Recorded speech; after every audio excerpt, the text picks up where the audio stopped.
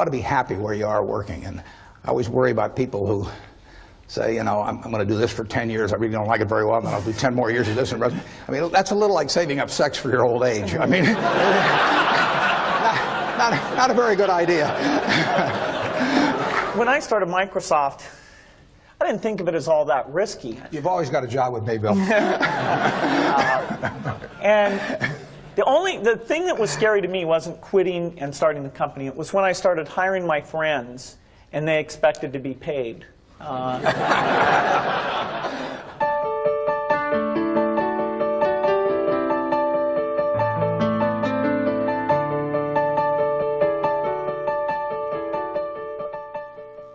Buffett and Gates on Success was made possible by the Floyd and Delores Jones Foundation, supporting efforts to enhance public education and a better understanding of business and investing in the American economy.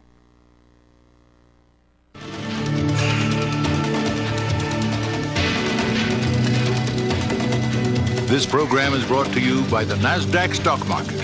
Timely investment information is available at NASDAQ.com. And by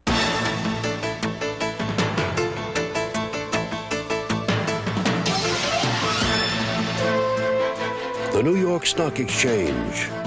The world puts its stock in us. Each spring in Omaha, Nebraska, Thousands of investors gather from around the world. How long does it take to get over here from Paris, France? 10 hours. For Sweden? Um, roughly, uh, it's a day flight. A lot of people. it reminds me of New York, a lot of people. They come for the annual shareholders meeting of an investment company, Berkshire Hathaway. Many come just for a chance to meet Berkshire's legendary chairman, Warren Buffett. Obviously, when the stock goes up a lot, it, it, it creates interest. During the past four decades, Buffett's uncanny success in picking stocks has made big money for Berkshire shareholders, including Buffett himself. His net worth is estimated at more than $30 billion. One highlight of the annual meeting is Berkshire Hathaway Day at an Omaha Royals baseball game. Buffett throws out the first pitch. Books analyzing Buffett's investment philosophy have acclaimed him the world's greatest investor. But he's made his fortune in companies well known to all. Companies such as Coca-Cola, Gillette, and Dairy Queen. He avoids anything high-tech. So how long have you been using com the computer? Yet one of Buffett's good friends is Bill Gates. Microsoft's co-founder and CEO is 26 years younger. His enormous success has come from a technological revolution that he has done much to pioneer and popularize. Gates started Microsoft with his high school friend Paul Allen when Gates was still in his teens. Their investment, $1,500.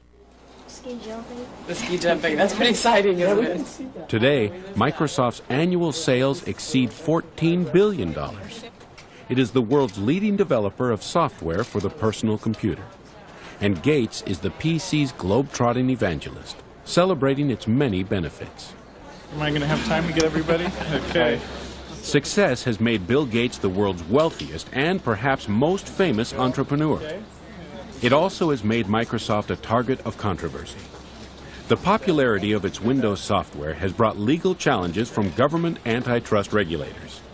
They've tried to limit Microsoft's expansion into new fields, such as the Internet. Bill Gates and Warren Buffett share a restless curiosity and fascination with the future. Together in the spring of 1998, they came to the campus of the University of Washington in Seattle. They came to share their experience and their combined wisdom in conversation with students from the university's business school young people overflowed the Student Union Auditorium for an extraordinary conversation with two of the most successful business leaders of our time. So please join me in giving a University of Washington Business School welcome to Bill Gates and to Warren Buffett.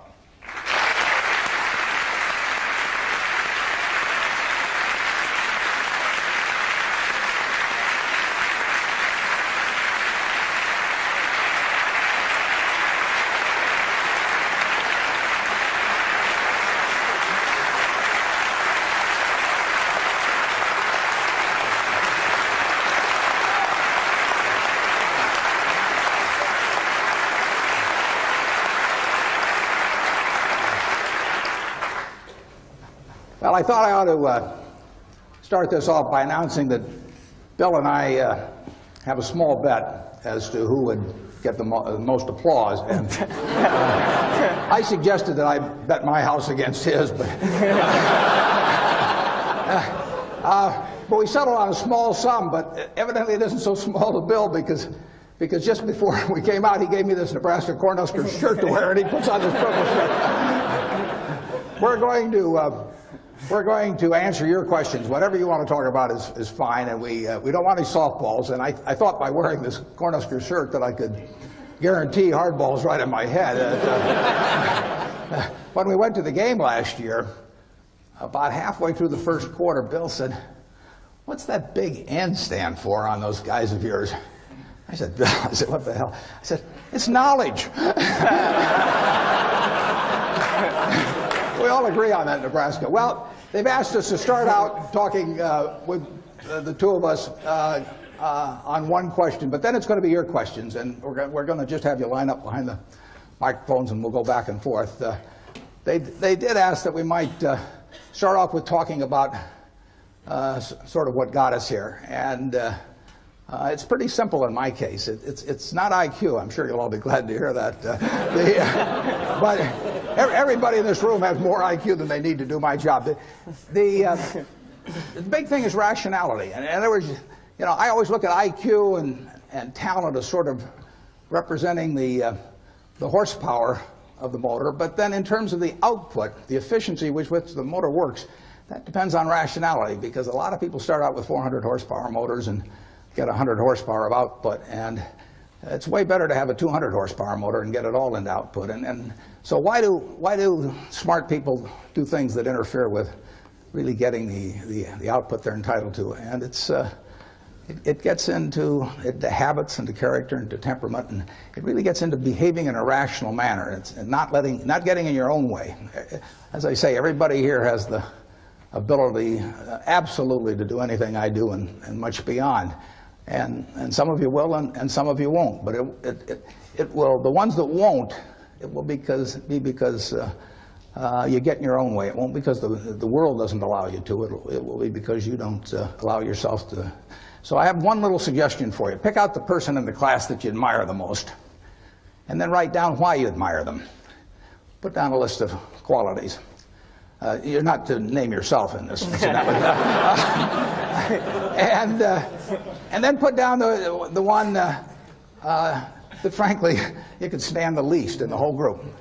And put, the, put down the qualities that, uh, that uh, uh, turn you off in that person. And look at that list, and, and you won't find it's a bunch of things like throwing a football 70 yards or, you know, or anything of the sort. The qualities of the first one that you admire are qualities that, that uh, you, with a little practice, uh, can make your own, and which, if practiced, will become habit forming. The chains of habit are too light to be felt until they're too heavy to be broken. I mean, my age, I can't change any of my habits. I mean, I'm stuck. But at your age, you know, you will have the habits 20 years from now that you decide to put into practice uh, today. So I just suggest that, that you, you look at the habits you admire in others, or the behavior you admire in others, and, and make those your own uh, habits, and you look at, at what you really find uh, uh, somewhat reprehensible in others, and just decide, you know, those are things you're not going to do. Ben Franklin did that a few hundred years ago, and it still works today. And if, if you do that, uh, you'll find that uh, you convert all your horsepower into output. So with that sermon, I'll let Bill give you another one, and then we'll get into your questions. well, I think Warren's absolutely right about habit. Um, I was lucky enough when I was quite young to have an exposure to computers, which were um, very expensive and, and kind of limited, limited in, in what they could do, but, but still fascinating. And some friends and I really talked about that and decided that uh, they, they would change because of a miracle technology of, of chips into something that everybody could take advantage of. And we really thought writing software was a neat thing. We hired our friends who wrote software. We thought about uh, what the potentials were and, and, really didn't see any limit. And so that, that vision of, of getting our friends together, uh, getting them to work as a team, uh, really seeing uh, what kind of tool this could be, a, a tool of, of what uh, we talked about as the information age, where the key thing is magnifying your brain power instead of, of just your muscle power. And by pursuing that with a pretty incredible focus and being there at, at the very beginning of the industry, uh, we were able to build a company that has uh, played a very central role in what's been a pretty big revolution. Now, fortunately, uh, the revolution is still at the beginning. It was 23 years ago when we started the company, but there's no doubt that taking the habits we formed uh, and sticking with those, uh, which would be hard to change, the next 23 years are going to give us a lot more potential and maybe even get us pretty close to that original vision, which was a, a computer on every desk and in every home. And that's a, a fun, fun thing to be involved with. Okay, fire away. I was wondering how you define success personally. Well, I, I can certainly define happiness because that's what that's what I am. I mean, I, I and, and if that if that. I mean, I get to do what I like to do every single day of the year, and I get to do it with people I like, and I get to, the, I get to, I don't have to associate with anybody causes my stomach to churn. At, uh, uh, and uh, the only thing in my j- job I don't like, and this only happens about every three or four years, occasionally I have to fire somebody, and I don't like. That's the only thing. Other than I, I tap dance to work, and I get down there, and I think I'm supposed to lie on my back and paint the ceiling, you know, or something like Michelangelo. I mean, it, that's the way I feel, and I. And, and it, it, it, it, doesn't diminish. It, it's, it's tremendous fun. So, uh, you know, if uh, uh, they say that uh, uh, success is uh, getting what you want and happiness is wanting what you get, well, I don't know which one applies in this case, but I, I do know that I, I wouldn't be doing anything else. I mean, it, I do advise you, you know, when you go out to work, go to, go to work for an organization that you admire people you admire because it'll it'll it'll turn you on and and and uh, uh, you, you, ought to be happy where you are working. And I always worry about people who say, you know, I'm, I'm going to do this for 10 years. I really don't like it very well, and I'll do 10 more years of this. And I mean, that's a little like saving up sex for your old age. I mean, not, not, not a very good idea. so get right. So get, would recommend that. Get right. Get right into get right into what you enjoy, you know, and and uh, and you'll be successful at it. You really will. I mean, you, you won't be able to miss. And uh, um, you know, that's. Uh, uh, I don't regard what I do as the most important thing in the world at all, but it's right for me. I mean, I happen to be wired in a certain way that what I do works in this. If I had to do what you know, Bill does. I mean, it lasts about 10 minutes. And uh, uh, that's true of a lot of things. But I, luckily, I kind of stumbled into the thing that I, I, I, do best. And, and that, you know, that it's worked out well. Bill? Well, I think that the key point there is you've got to enjoy what you do every day. And for me, that's working with very smart people. It's working on new problems. You know, every time we think, hey, we've had a little bit of success, we're pretty careful not to dwell on it too much because the bar gets raised. People's expectations of the, the products, we've always got customer feedback telling us the machines are too complicated, they're not, they're not natural enough. And the, the competition, uh, the, the, the breakthroughs, the research make uh, the field I'm, I'm, in, I think, the most exciting field there is. There's some other good fields. Biotechnology is a good field because it's uh, changing the world of, of medicine and, and health. But the computer industry, in, in particular software, you know, I, I think uh, is the most exciting, and I think I have the, the best job in that in that business. Don't you think Dairy, Dairy Queen is more important to the country? you can manage Dairy Queen. Yeah. I, will go and buy the dilly bars. Yeah, yeah well, I'm counting on it. we'll raise the price when you come. okay you, you, don't want to you don't want to get in. I, I, I, have turned down business deals that were otherwise decent deals because I didn't like the people that I would have to work with. I, I, didn't see any sense pretending it. And, to take on to get involved with people that really cause your stomach to churn. I, you know, I, say it's a lot like marrying for money. That it's it's probably a bad idea under any circumstances, but it's absolutely crazy if you're already rich, right?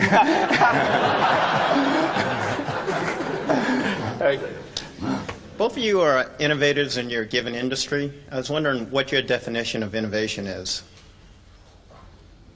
Well, I don't, I don't do a lot of innovating in, in, in what I do. I mean, I, I, my job, I really have just two functions in my job. One, one is to allocate capital, which I enjoy doing, and, uh, and the second one is to have a group of managers, uh, to keep a group of people, 15 or 20 managers, uh, enthused about what they do when they have no financial need to do it whatsoever. Three, at least three quarters of the managers we have um, are rich beyond any possible financial need. And, and therefore, my job is to figure out how to cause them to want to jump out of bed at six in the morning and, and, and work with all of the enthusiasm they did when they, when they were poor and starting. And, and if I do those two things, they do the innovation. But Bill innovates. Now, he can tell you about it.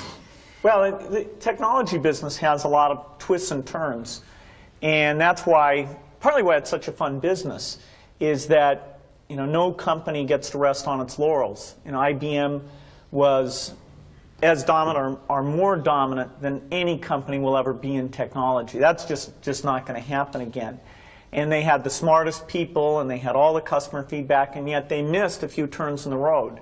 And so that makes you wake up every day thinking, hmm, let's try to make sure today's not the day we miss the turn in the road. Uh, let's uh, you know, find out what's going on in speech recognition. Let's go find out what's going on in artificial intelligence. Let's make sure we're hiring in the kind of uh, people who can pull those things together and make sure we don't, uh, we don't get surprised. Sometimes uh, we do get taken by surprise. For example, the internet came along, and we had it sort of as a fifth or sixth priority it wasn't like somebody said internet to me and I said, oh, I don't know how to spell that. Uh, I said, yeah, I got that on my list. I'm okay. Uh, but there came a point where we realized it was happening faster and it, and it was a much deeper phenomena than it, it um, had been recognized in our strategy. And so that was a case where, uh, as an act of leadership, I had to create a, a, sense of crisis and have a couple months where we all just threw ideas and sent electronic mail around, went on a bunch of retreats and then eventually coalesced around a few ideas where we said, okay, here's how we're going to, here's what we're going to do, here's how we're going to measure ourselves internally, and here's what the world should think. Here's what we're going to tell them about what we're going to do. And that kind of crisis is likely to come up um, every three or four years or so. Next time it comes up, remember Yogi Berra, Bill. When, it, when you reach a fork, fork in the road, take it. Growing up, who were your biggest role models and what kind of a role did they play in your success? You know, I had uh, great parents, uh, both of whom were involved in uh, lots of interesting activities and would come home and talk to us about you know, the world of, of business or law or politics or the charitable activities they were involved in. And so that made us, uh, my, myself my sisters always thought about, well, what are we going to do out there? Uh, they had us as avid readers, and so we uh, had pretty broad interest in reading. Uh, scientists were a group that I gravitated to because this notion that just you know, out of their heads they came up with neat ideas, uh, that sort of fascinated me. So quite a, quite a bit of the time I thought I'd be a mathematician or a scientist. It was only when I got to Harvard that I started to think of this uh, sort of all-absorbing hobby I'd had, computer stuff, which I just thought, okay, I got to get rid of this, and decided to do something serious. I started to realize, you know, this is pretty serious, and it's actually more interesting and more impactful than uh, you know going and, and, trying to come up with a new theory in math or, or anything else. And so I, I, had that dilemma for a couple of years, but eventually decided that uh, uh computers really was a great a great thing to be involved with. Yeah, I think you're 100% on the money in, in focusing. I, I, would, instead of calling them role models, I call them heroes, actually. And, and, and I think if you tell me who your heroes are, I can tell you how you're going to turn out to quite an extent uh, by this point in life. And, and I, I, I, have been extraordinarily lucky in that none of my heroes ever let me down. I mean, I, the ones I uh, came up with uh, throughout their lives, uh, I've never felt that I've been let down in any way with it. Number one was my dad, and, and uh, uh, had a huge impression on me. Um, my wife, who is here, is, is, one of my heroes. I mean, she is, uh, you know, in, in terms of, of uh, she's taught me a tremendous amount, and, and, and uh, never seen anybody any better with human beings than, than, than she is. And uh, you can you know, Yogi Berra again said you can, you can observe a lot just by watching.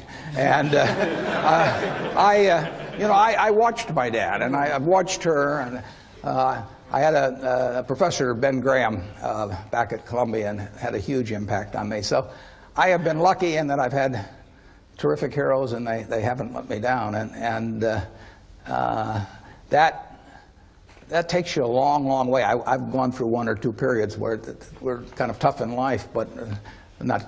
I mean, every, everybody's had, had that, but but having the right heroes will take you right through it. The internet exposes us to vast amounts of information, and in particular, children are being exposed to more and more complex issues at very young ages. Yourself being a father, Mr. Gates, I was wondering if you had any comment on the access now to information and how do we handle that? Well, definitely the internet has every kind of in information you can imagine. All the, the worst things and best things that people are interested in are out there in uh, great, great quantity. And so there, there's a decision a parent has in terms of do you let your kid go out onto the internet? One, one great thing about the internet is if you set it up the right way, there's a log of exactly what the person's gone and looked at. And so you know, you have to decide up to what age do you think it's legitimate uh, that you have access to see where they're going and what they're interested in. And personally, I'd rather see what my kid is interested in and talk to them about it than try and block altogether them ever learning anything about it. Because someday in their life, uh, whether it's a, you know, a magazine or a friend or a terminal that I don't, I don't control, if they're curious about something, um, they're, they're going to find out about it. And you know, my, so my, my theory is not that you know, my child will be okay as long as they don't hear about things. You want to have the full experience and uh, uh, but I, I think, uh, on the whole, the fact that a kid has this tool to be curious about all these topics, that's got to be a, a, fantastic thing. I can't improve on that, I, I, but I, am, I just got to the age where Bill lets me watch the internet alone. So I've been trying. That, that's good story. I, you know, I've been trying to evangelize personal computers to Warren ever since we met, which is uh, over oh, about seven years ago now. And uh, it was amazing. You know, I talked about stock quotes and spreadsheets and all these things. And it, in the end, it wasn't uh, my uh, talking at all that got him on. It was the ability to play bridge with his friends. and, uh, now he's, he's incredible. he's an addict. Yeah. Do you feel that technology has made businesses more efficient to the point where you can pay more for them? Well, it, I, am sure technology has made more efficient, and, and if, if, I thought otherwise, I would, I'd be afraid to say so with Bill sitting next to me. but a lot of things in business, in, including uh, maybe much of technology, really amounts, it has the same effect as if you went to a parade and the band started coming down the street, and all of a sudden, you stood up on tiptoe. I mean, in, in another 30 seconds, everybody would be on tiptoe. You know, it'd be hell on your legs, and you wouldn't be seeing any better. And, and there is that aspect to business, that there's a self-neutralizing aspect. Now, Bill, tell them how much technology you'll make for them. no, I think it, there's definitely a lift, a one-time lift, where you go from not using technology well to using it well, particularly if U.S. companies are doing that better than their competitors uh, outside the United States. And so you get all this ability to communicate, and so you get global scale in a lot of businesses that wouldn't have had it before. If you look at the really big earners in that who are generating this 20% return on equity, a lot of them are companies like Coke or Microsoft or Boeing or GE, which are going to that, that worldwide marketplace. And I know every one of those has been helped by technology. But that that cannot explain why 10 years from now they'd be getting that type of return on equity. There's something uh, almost certainly ephemeral about, about current conditions. Capitalism tends to be self-neutralizing in terms of improvements, but that, that, that's marvelous because it means we've got better everything than we have otherwise. but the real trick is to stand up on tiptoe and not, not have anyone notice it. I mean, if you can do that, for, then you do very well. Yeah. Bill Warren, The world is becoming a much smaller place, both in technology and in finance. How do you see yourselves as businessmen taking your businesses globally, and how do you view that individually as a person? Well, I've got an easier answer, so I, will let, I'll let Bill think while I give the easy answer. We don't do it directly. I mean, our two largest commitments are, are, are Coke and Gillette, and I, Coke has 80% of their earnings coming from abroad, and it'll be larger in the future. Gillette has two thirds of their earnings coming from abroad, and that'll be larger in the future. So they are participating in, in a worldwide improvement in, in, in living, and they'll continue to participate. So we do it by piggybacking them, and I can sit in Omaha you know, and, and, let, and let Doug Ivester at Coke fly all over the world and do a tremendous job doing it. Bill has to get out there and, and, and do it for Microsoft, and I'll let him tell you how. One great thing about our business is it is, it is global. Uh, that what do you need in a spreadsheet?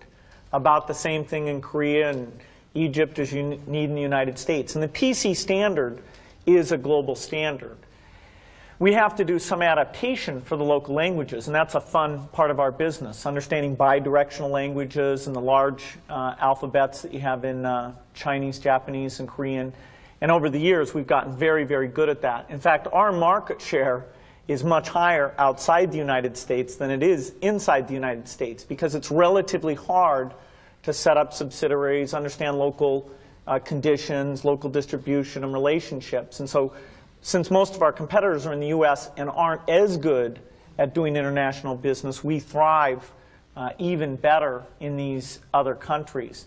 Most of our growth will come from outside the United States. The United States will get to the point where it's largely a replacement market. Most homes and business desktops will have PCs. Now, that doesn't mean they won't replace them, that they won't want better software that can see, listen, and learn. But outside the U.S., we still have that that early slope phenomena. So it's very much a global, global business. When you think about it, many of you are probably too young to remember uh, with clarity. Anyway, 15 years ago, this country almost had an inferiority complex about its ability to com uh, compete in the world. And, and, you know, and with software and, and, and, and, the whole uh, uh, development of the computer, uh, now the rest of the world is looking to us, and you know, and, and you know, Bill has played a big part in that. I mean, it, he has he has contributed in a major way to a change in our attitude about this country and and the world's attitude about this country. So, what impelled you to make a trip together to China in 1995, and uh, what's your perception before and after the trip? And, uh, and most the next question is uh, uh, what has that trip affected your um, global business decision in that region since?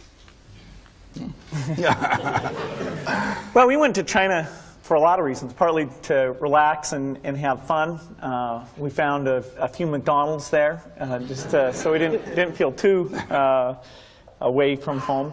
It was also exciting to go and see all the changes taking place. I mean, it's so amazing uh, what, what's going on there. And we saw different parts of the country, got to see some of the leaders. Uh, it's a market that uh, you know, we, Microsoft had already been investing a lot, and we've upped that quite a bit since then. Although about 3 million computers get sold every year in, in China, people don't pay for the software. Uh, and, so how's it, how's they, they, they will, though.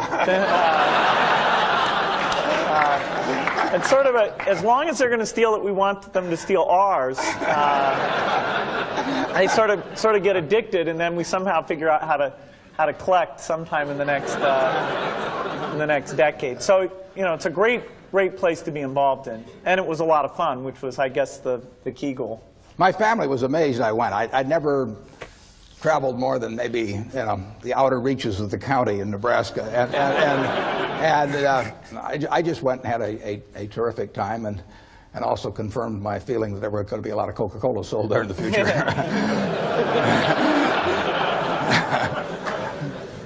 I told everybody over there it acted as an aphrodisiac. I don't know whether.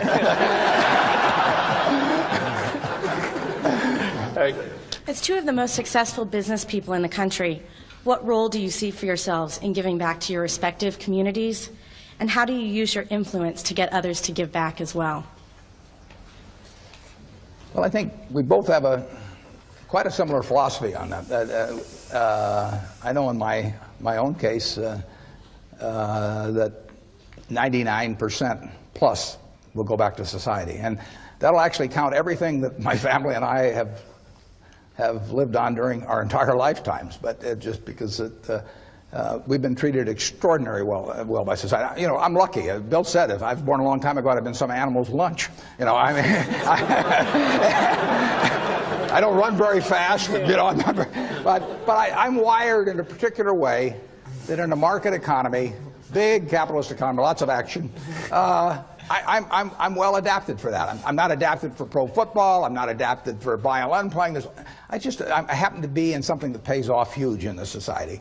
And basically, I, I get the fun of playing around with that while I live, but it, it, it will all go back to, to society, and, and uh, uh, I think it would be, I think it'd be wrong to be, to be otherwise, uh, frankly. I, if I'd been dropped down in, uh, you know, in, in, in uh, some remote country or in almost any other place in the world, I, I wouldn't have been worth a damn. I mean, I, I, I am here because of a tremendous society that surrounds me and, and the fact that I happen to be well adapted to a certain part of it. And so it all, it's all going to go back to society. And I, I know Bill feels very similar.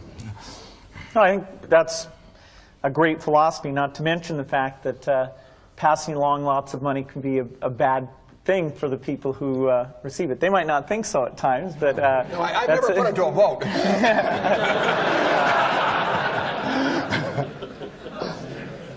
no, I, I, really don't think it's. I don't think it's right that the. Uh, frankly, I don't think it's right that the quarterback of the Nebraska football team next year should be the eldest son of the quarterback of 22 years ago. Nor do I think that our Olympic team uh, in 2000 should be chosen as to be from the same family that was on the Olympic team in all the respective sports in 1976. I mean, we believe in the meritocracy when it comes to athletics and uh, all kinds of things. Now, why not have a meritocracy in, in, in, in, terms of what you go out into the world with in terms of the productive goods? Let, let, let, let, let, the, let the Resources flow to those who use them best. But then I think they ought to give it back to society primarily when they get through. I, I, do not believe in a divine right of the womb. I mean, I do not think that you, you know, that if, if you select the right womb, that you're entitled to do nothing the rest of your life. It doesn't make any sense.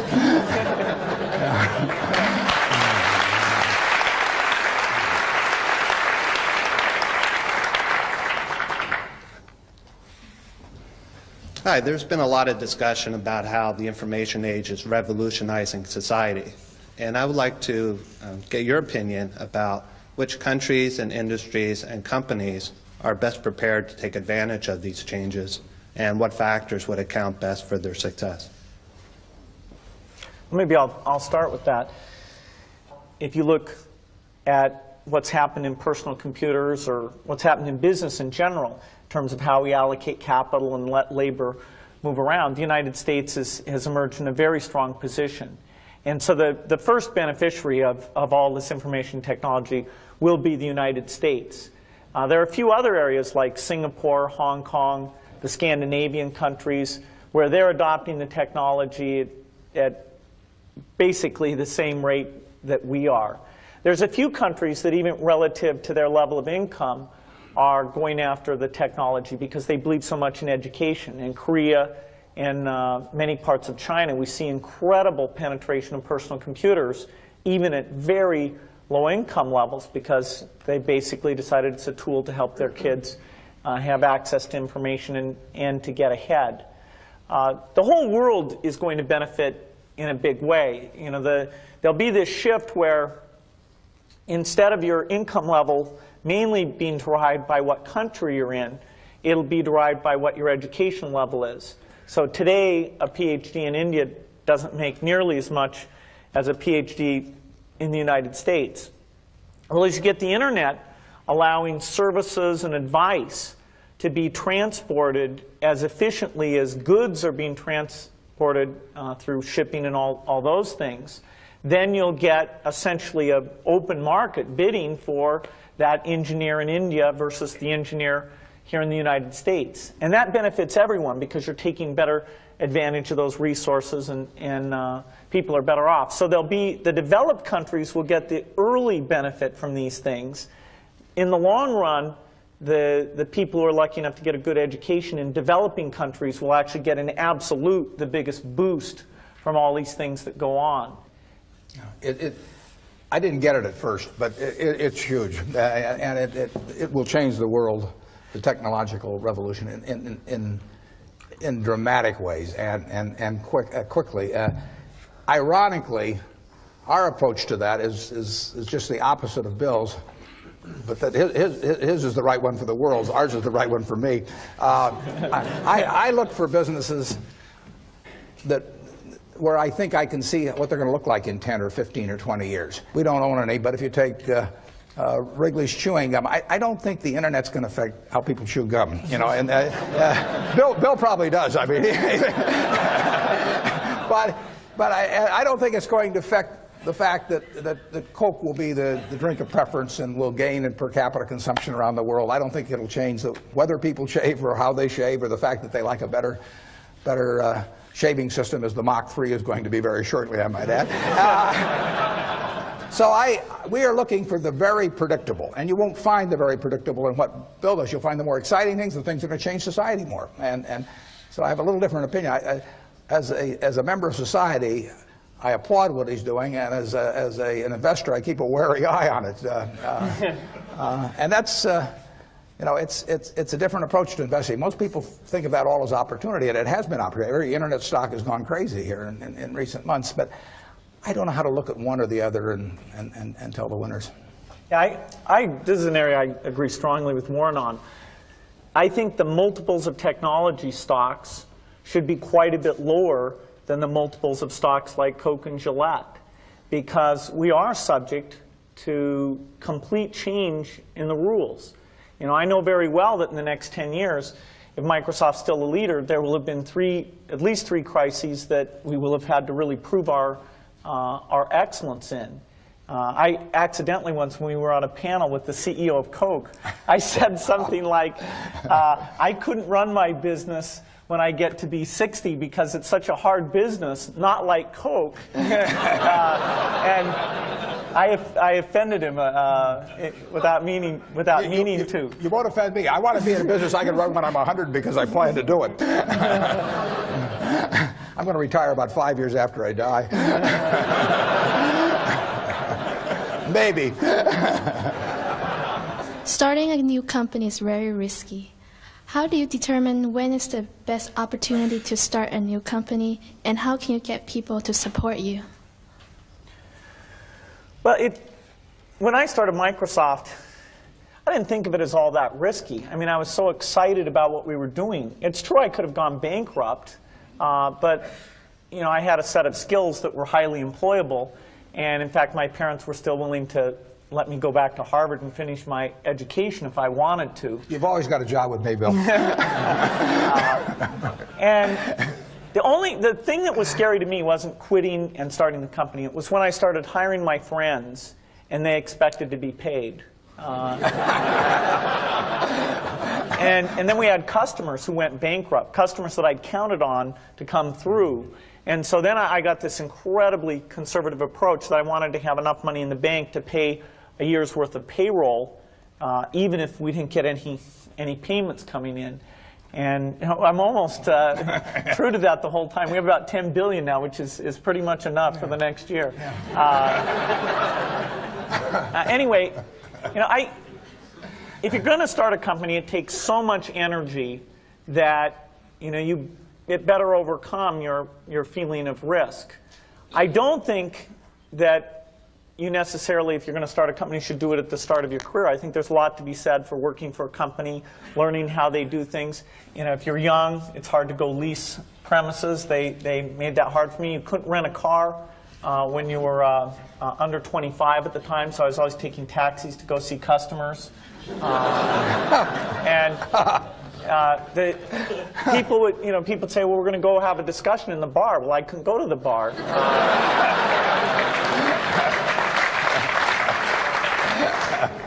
and but you know that's fun because I'll tell you when people are first skeptical and they go, "This kid doesn't know anything," then when you show them you've really got a good product and you know something, they actually tend to go overboard and they think, "Whoa, you know, they know a lot. Uh, let's really do an incredible amount with these people. So our youth, at least in this country, uh, was a, a, huge asset for us once we reached a, a, certain threshold. It is hard. It's hard to hire old, older people um, because they'll be a little bit conservative about whether they should come and, and take the risk. And it took three or four years before we could go out into the normal sort of employment pool. But those, those problems that come with starting a firm, you better think of those as, as part of the, the pleasure, part of the, the, the challenge that, that is part of the, the excitement. I was curious what each of you felt was the best business decision you'd made um, throughout your career. The best what? Business decision. Uh, I think just getting in, jumping in the pool, basically. I mean, I, I, I, have always enjoyed what I've done, and, and, and a few things have worked out very well. And, and the nice thing about the investment business is that you don't need very many. But you'll, you'll see plenty of times when you get chances to do things that just shout at you. And the, the thing you have to do is, is when that happens, you have to take a big swing. I mean, there's, that is no time uh, to be reading a book on the theory of diversification. I mean, you know, I mean that is a time to put you put very significant. When you find something that where you know the business, it's within your circle of competence, you understand it, the price is right, the people are right, then you, know you, you take your you take your thumb out of your mouth and you barrel in. we were talking at breakfast this morning about. Uh, of all Warren's investments decisions, which was the worst decision? Which it, it's amazing and they're tough to find because he, uh, he's, you know, the track record's unbelievable. Uh, but we, I think, decided that by uh, some metric, the buying the company that he, his company is named after was probably the worst investment decision. Uh, That's true. I mean, we went into a terrible business because it was cheap. And it, it, it's what I refer to as the, the, the, used cigar butt approach to investing. You know, that you see the cigar butt down there, it's soggy, you know, it's terrible. But there is one puff in it and it's free. And, and, and, that's what Berkshire was when we bought it. I mean, it was selling below working capital. Actually, buying Berkshire Hathaway, buying control of it, was probably the biggest single bad decision that I've made. And then the, I made all kinds of decisions that have cost us billions of dollars, but they've been They've been mistakes of omission rather than commission. I mean, there were businesses that we knew enough to buy a lot of. I don't worry about not buying Microsoft because I, I, I, didn't understand that business. I didn't, didn't, understand Intel. But there were businesses that I did understand. Fannie Mae was one. I mean, uh, I made a decision to buy it, and I just I didn't execute. And we would have made many billions of dollars on something that was within my circle of competence, and I didn't do it. And you don't see that. Accounting, conventional accounting doesn't record that. But believe me, it happened. in, in, in, my case, I'd say my best business decisions really have to do with uh, picking people. You know, deciding to go into partnership with Paul Allen uh, is, is probably at the top of the list. And then uh, subsequently, uh, hiring a friend, Steve Ballmer, and having somebody who you totally trust, who's totally committed, who shares your vision, and yet has a, a little bit different set of skills and also acts as a check on you. You know, some of the ideas you come up with, you run by them because you know they're going to say, hey, wait a minute. Uh, uh, you know, have you thought about this and that? And just, you know, the, the benefit of sparking off of somebody who's, who's got that kind of brilliance, it's not only made it fun, but it's really led to a lot of success. So picking, picking a partner is, is crucial. Yeah, and I've had a partner like that, Charlie Munger, uh, for a lot of years, and and it, it does for me exactly what, what, what Bill was talking about. The, Charlie, and so you have to calibrate with Charlie, though, because Charlie says everything I do is dumb. But, but if he says it's really dumb, then I know it is. But if he just says it's dumb, I take that as an affirmative vote. Go ahead. Um, if you can change one thing in your life, what would it be and why? My age. uh, you know, I, I never look back. I, I, I, just don't, I don't worry about anything. I mean, I, uh, I uh, so I consider myself unbelievably lucky. So the idea of saying I could have even been a little luckier if this or that had happened, you know, I mean, you know, I could have been a lot better looking or I could have been a better athlete or all that stuff, but so what? You know, I, I, I, you play the hand you get you play it as well as you can, and, and you're thankful if you're lucky enough. The odds were, when I was born, the odds were over 50 to 1 against me being born in the United States. I mean, I had a 2% probability, you know. if I'd known that, I might have given up and not come out. I mean, but, but, but here it was, you know, I was lucky enough to be born here, and I was lucky enough to have uh, two terrific parents, and they, uh, uh, uh, they raised the, the, the, three kids in a way that, that helped me enormously uh, in life. So I mean, when you got all that going for, I, I just don't think you look back and, and, think about anything that could be changed better. I'm, I'm thankful. Isn't there at least one bridge hand you would have played differently? Well, that, that, I have a partner who says I should have played every bridge hand differently. I asked her one time, I said, how should I play that hand? And she said, under an assumed name.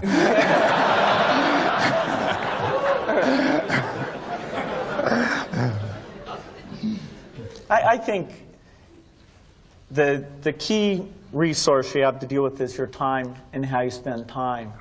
And I'm pretty rigorous looking back each year. I even get uh, my friend Steve Ballmer to come in and look at my schedule and criticize, hey, you, you didn't really need to spend time on this or that. And uh, that's pretty useful because you know, if I can get more time to sit down with the engineers, if I can get more time to get out with some customers. Those are the things I just love to do. And you know, it, it just gets me excited. It clears my mind. And, and so you know, I'm always trying to make sure that, that uh, I'm only doing the things that are important. Hypothetically, if you were to lose everything today, keep everything in the past, but right now starting fresh, and you could only keep three things in your life, tangible or intangible, what three would those be?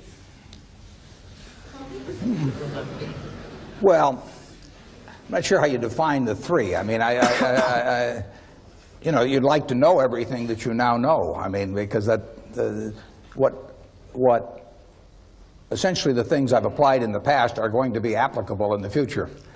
Uh, this may sound, if I, if I lost it all without losing any, uh, any money of any other people, it wouldn't bother me a lot if, if, I, if I took other people down with me, it would kill me. You know, I mean, you know, that, that is the one thing that would just, that, that would destroy me uh, because I just, I wouldn't be able, I, I, I'm not sure I'd recover from that. But if it was just my money, it wouldn't make any difference at all because I keep living about the same. Have to give up the plane. I but, give you a job. yeah, but I mean, I, I eat the I eat the same way everybody in this room eats. You know, he eats I, a lot worse than you guys do.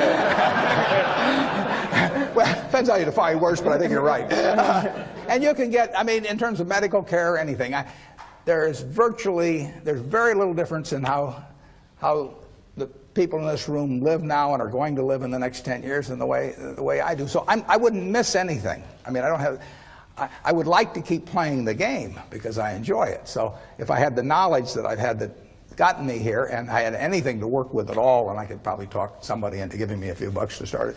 I, but I would have a lot of fun playing the game again. I mean, it, it, it, it, it, uh, it, it, it, might be, you know, I'm, I'm not sure I want to follow your experiment, but I, I, I think I, I think it'd be just about as much fun as what I do. Yeah, as long as people didn't go down with me, that would that would be no fun. Bill. Yeah, starting out at a small scale again, you know, it's got a, a certain attraction to it. Uh, you, but you know, I, I think uh, it's interesting. Our, our business is not one where money makes that much difference at all. Uh, in fact, somebody was saying to me recently that you know, Microsoft has such a, a strong position in our business. And I was saying, hey, if you took 30 of the top people and drafted them over to the other team, the score would change you know, very, very quickly. First of all, not only would the 30 go, the people who like working with the 30 would go with them. And so it's not, there's not some asset there. It's, you know, all the products are going to be obsolete very, very rapidly. It's, it's the people and their sense of how to do things and their enjoyment and working with each other. And, you know, it'd be a shame to give that up. Uh, but, you know, starting another company like that again, I, I'd have a blast doing it in light of public controversy that's caused a lot of confusion in my mind and has polarized most of my friends and associates, and perhaps has caused one or both of you to lose some sleep, I'd like to ask you to share your perspective of what purpose or what appropriate role antitrust legislation should play in American business? Uh, I am no anti antitrust uh, scholar. I think that uh, that uh, well, I met Bill eight years ago, and he's and he was he, he's a terrific teacher, and so he spent about six or seven hours explaining his business to me, and he actually, I mean, here I am, the world's biggest dummy on technology, but he he explained it to me pretty darn well. And when I got through, when he got through with it, I bought 100 shares of stock just to keep track of him. And I think that shows two things. One is that I've got an IQ of about 50. and the second is I didn't think he had any monopoly.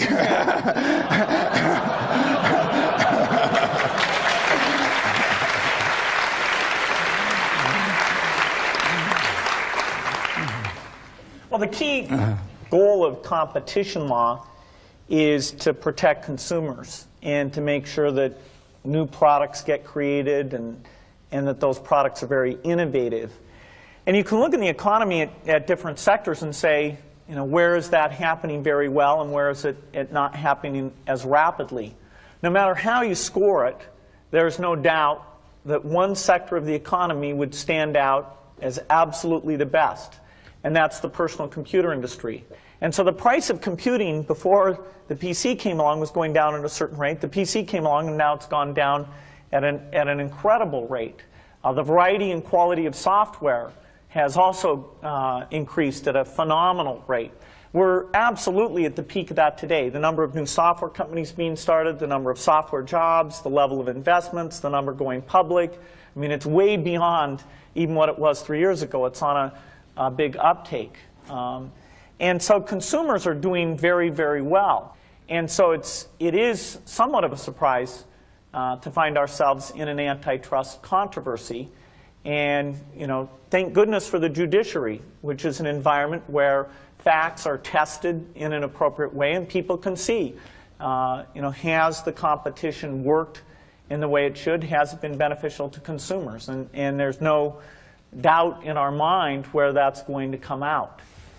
Um, it seems to a lot of people that uh, both uh, in both your companies the success is driven by your enthusiasm and your leadership skills.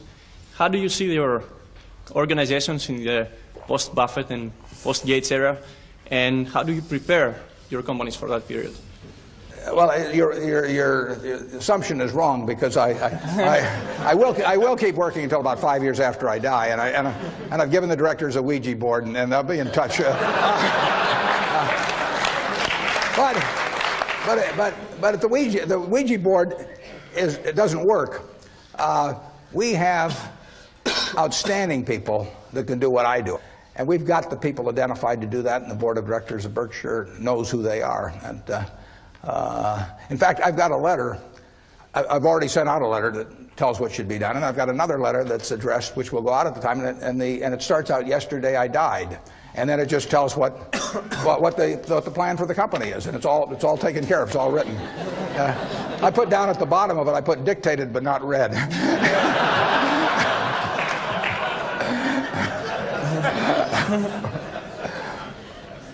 Yeah, my attitude is a lot like Warren's. I, I uh, you know, I want to keep doing what I'm doing for a long, long time.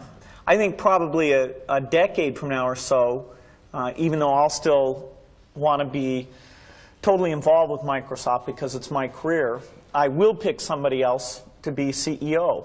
And uh, See some hands in the audience. uh, that's an, a big transition for a company. You know, sometimes you find somebody who does better, uh, and and sometimes you don't. And no, I actually am interested in people who, uh, who want the job. It's it's got some fun parts to it.